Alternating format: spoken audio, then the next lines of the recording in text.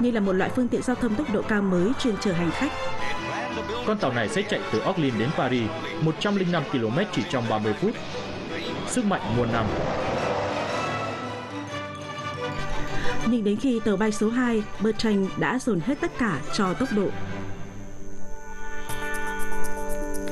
Tàu bay số 2 là một phiên bản lai tạo tương lai của máy bay chiến đấu phản lực, xe đua, tàu hỏa và thủy phi cơ. Và dù trông nó như bước ra từ một bộ phim khoa học viễn tưởng, bản thân công nghệ này khá là cơ bản. Tôi nghĩ công tắc yêu thích của mình là cái này. Nó ghi khởi động và đi, chỉ cần bật công tắc. Chính sự kết hợp ý tưởng của các kỹ thuật này đã khiến tàu bay của Jean Bertin là một bước phát triển đột phá. Ý tưởng của Berlin vô cùng cấp tiến. Ông ấy kết hợp những nguyên lý của thủy phi cơ và máy bay chiến đấu phản lực lại với nhau. Đây là lần đầu tiên ý tưởng này thành hiện thực. Một động cơ của máy bay phản lực đã cho lực đẩy ban đầu lên tới 298 km/h. Một động cơ phản lực được bổ sung thêm vào đẩy con số này lên 378 km/h.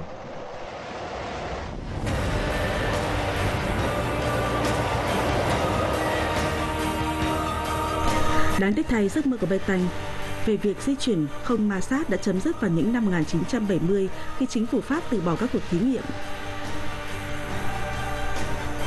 Tuy nhiên, hệ thống tàu bay bây giờ đã có một người họ hàng quen thuộc cách nó hơn 9.000 km tại Trung Quốc.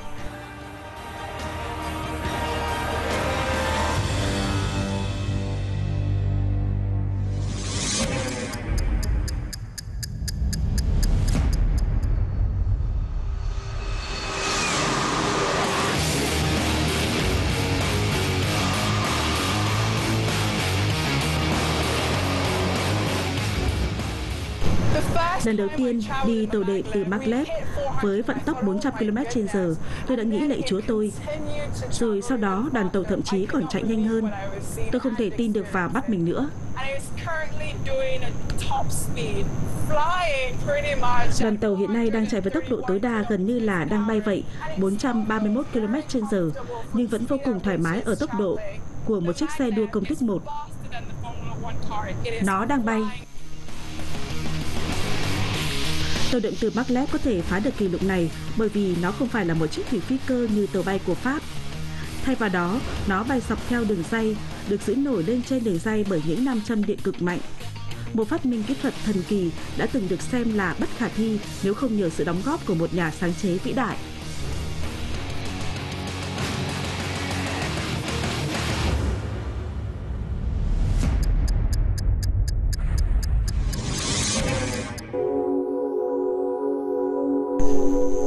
Sinh năm 1791 là con trai của một người thợ rèn.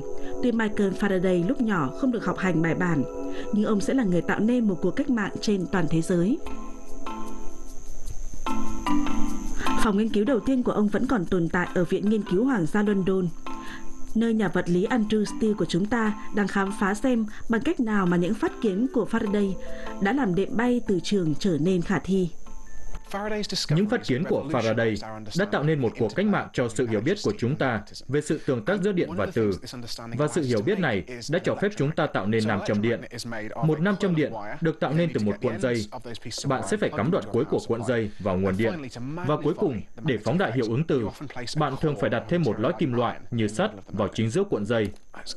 Kết nối vào nguồn điện nào.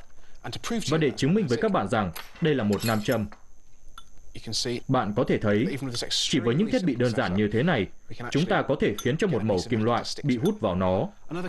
Một thực tế quan trọng khác về nam châm điện, đó là nếu bạn muốn bay lên, chúng ta có thể thay đổi độ mạnh yếu của nam châm. Điều này rất dễ dàng, chỉ cần thay đổi dòng điện đang chạy qua nam châm. Nếu tôi hạ dòng điện xuống, thì lực hút sẽ yếu đi, và nếu tăng dòng điện lên, lực hút sẽ mạnh lên lại. Chúng ta không những có thể điều chỉnh độ mạnh yếu của nam châm điện, thậm chí là bật tắt nó tùy ý mà còn có thể khiến nó mạnh hơn cả từ trường của trái đất.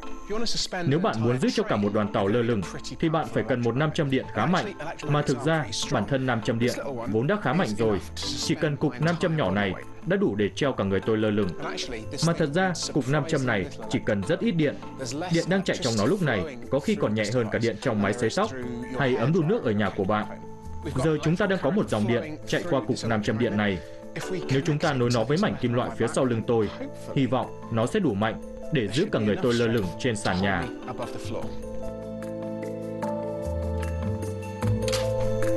Bạn hãy nhìn xem,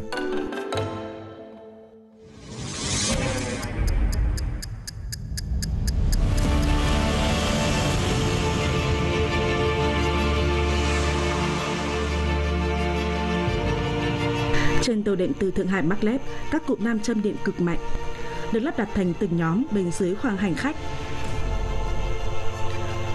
Nam châm điều hướng giữ cho đoàn tàu được thăng bằng và nam châm hỗ trợ sẽ hút các nhóm nam châm điện vào bên dưới đường dây, nước đoàn tàu bay lên.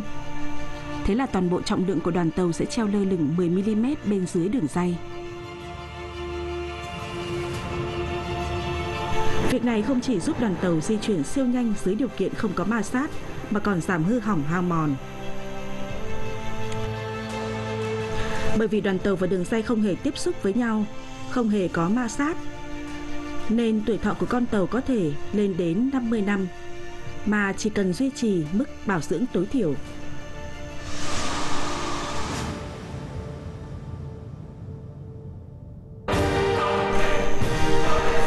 Nhưng để tạo nên một con tàu phù hợp với tương lai các nhà thiết kế vẫn phải học tập thêm từ một trong những nhà phát minh vĩ đại nhất lịch sử, để tạo nên thêm một cỗ máy kỹ thuật bất khả thi.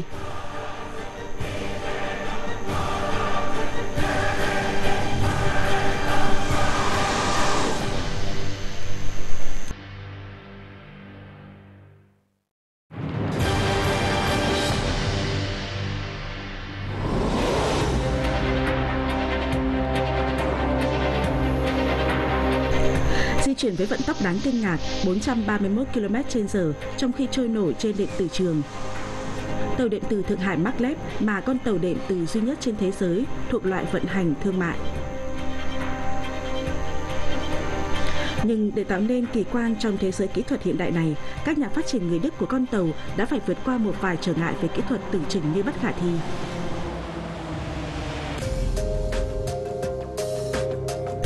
Bao gồm việc tạo ra một hệ thống đầy phù hợp với ngôi nhà trong tương lai của nó. Trung Quốc cũng như các nền công nghiệp hiện đại khác cũng đang lo lắng về hạn ngạch xả khí thải. Nếu sự phát triển này tiếp tục, nhu cầu về dầu cũng sẽ tăng lên. Nhưng nguồn cung dầu trong nước của Trung Quốc khá hạn chế. Và với các vấn đề tắc nghẽn khí đốt hiện nay, các sáng kiến giao thông xanh sạch là vô cùng cần thiết nếu không muốn thành phố này bị ngạt thở.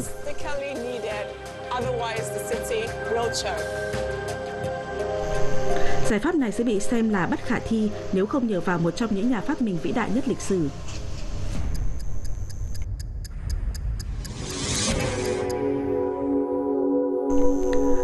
Vào cuối những năm 40 của thế kỷ thứ 20, những thí nghiệm của một kỹ sư người Anh đã đem lại cho ông danh hiệu cha đẻ của tàu điện từ.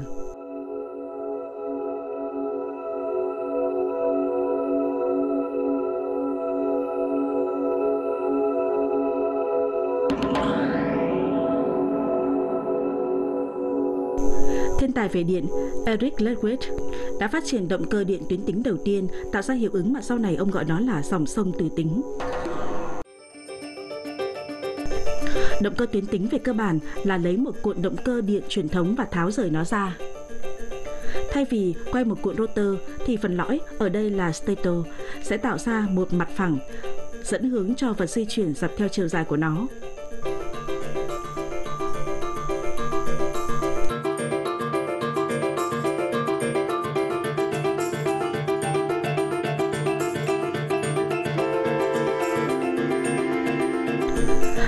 Của Liquid đã cung cấp chìa khóa mở ra tiềm năng của tàu điện từ.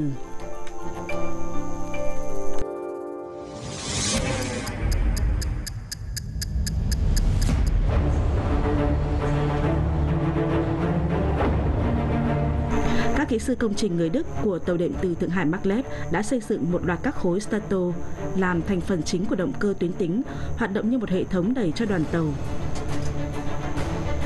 Sau khi lắp đặt, hệ thống này đã được thử nghiệm tại Đức và việc kết hợp thêm các nam châm điều hướng và hỗ trợ đã cho phép toàn bộ hệ thống độc đáo này bay lên.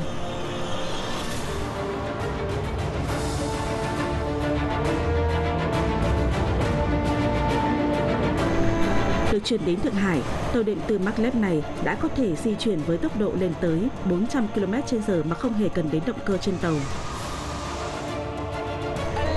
Một động cơ tuyến tính được gắn vào toàn bộ đường dây xuyên suốt chiều dài 30 km.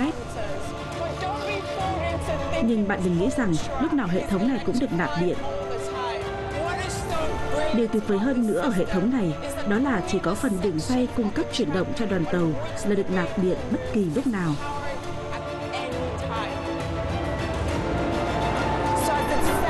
Khi đoàn tàu rời bến, đoạn đường dây dài 30 km trước mặt không hoạt động và chỉ phần đường dây ngay phía trước đoàn tàu là vận hành mà thôi. Ngay khi đoàn tàu băng qua phần đường dây ngắn đó, nó sẽ lại tự động tắt đi và phần đường dây ngắn tiếp theo sẽ lại đảm nhận công việc đẩy đoàn tàu tiến về phía trước. Và cứ như thế, tiếp tục cho đến khi đoàn tàu đi đến điểm dừng chân.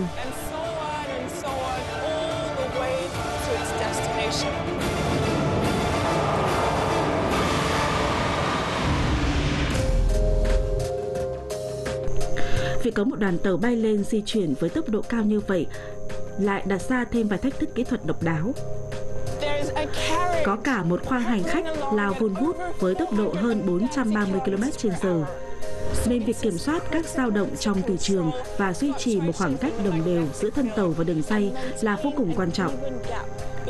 Mặc cho có bao nhiêu hành khách trên tàu hay có biến chuyển gì trong tải trọng mà đoàn tàu mang theo.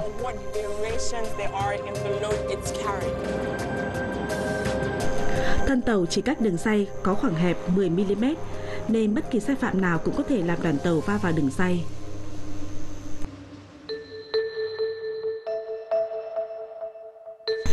Giải pháp ở đây, như nhà vật lý Andrew Steele đang đưa ra, là dựa vào các cảm biến liên tục điều chỉnh dòng điện trong nam châm điện. Bạn có thể thấy ở đây là một nam châm vĩnh cửu đang được treo lơ lửng dưới nam châm điện.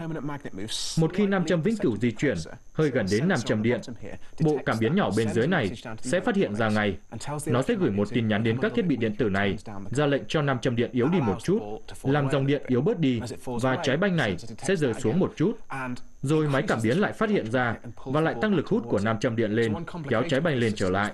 Vì vậy, một điều phức tạp của hệ thống này đó là hệ thống phản hồi của bạn luôn phải hoạt động và nó phải phản ứng cực nhanh. Bạn có thể thấy ở đây, trái banh này đang xoay và hơi trao đảo một tí. Thí nghiệm nhỏ thế này thì không sao, nhưng nếu là cả một đoàn tàu đang chạy dọc theo đường dây với tốc độ lên đến hàng trăm km trên giờ, thì bạn sẽ phải cần một hệ thống phản hồi vô cùng nhạy và chính xác.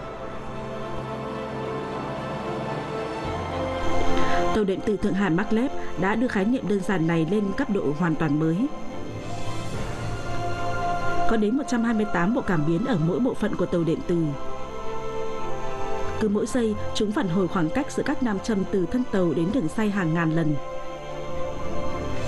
Điều này cho phép những cỗ máy tính mạnh mẽ liên tục điều chỉnh dòng điện trong các nam châm điện với độ chính xác hiển vi. Đây là đường dây và con tàu nổi lên đúng 1 cm trên đường ray Một sự chính xác phi thường. Đó là nhờ hệ thống máy tính đã luôn đảm bảo cho con tàu nổi lên đúng 1 cm trên bề mặt đường ray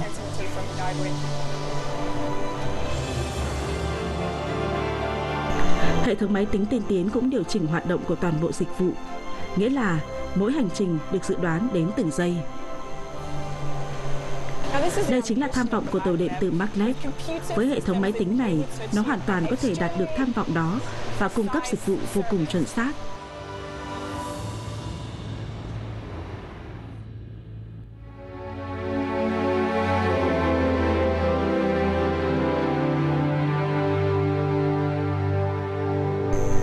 Sau hàng thập kỷ lên kế hoạch, thiết kế và thử nghiệm, cuối cùng đã tạo ra được con tàu điện tử vận hành thương mại duy nhất trên thế giới Maglev.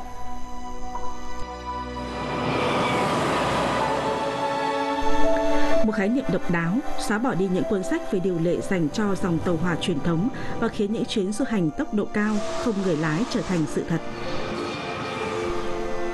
Một hệ thống như tàu điện tử đã chỉ ra rằng tương lai của giao thông vận tải trong thế giới chúng ta có thể đạt được những điều đáng kinh ngạc. Điều này còn cho phép chúng ta di chuyển con người từ điểm A đến điểm B chỉ trong một thời gian ngắn, thật đáng kinh ngạc. Bằng cách học tập từ những phát minh trong quá khứ, thích nghi, cải tiến và tạo ra những bước đột phá của riêng mình. Các nhà thiết kế và kỹ sư của tàu điện từ Maglev đã thực hiện hóa giấc mơ của họ về một con tàu siêu tốc có thể bay mà không cần cánh. Họ đã thành công trong việc biến điều tưởng chừng như bất khả thi thành có thể. Thật khó tin rằng lại có một con tàu có thể chạy với vận tốc lên tới hơn 400 km/h. Đây là viễn cảnh của tương lai. Vậy mà nó lại ở ngay đây, ngay lúc này